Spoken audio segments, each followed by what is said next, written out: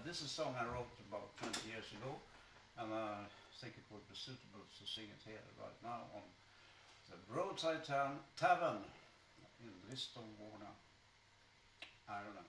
County Clare, Ireland. County Clare, okay. Ireland. Yeah, yeah. How could I? Yeah. this, this God damn it. Yeah, yeah, yeah.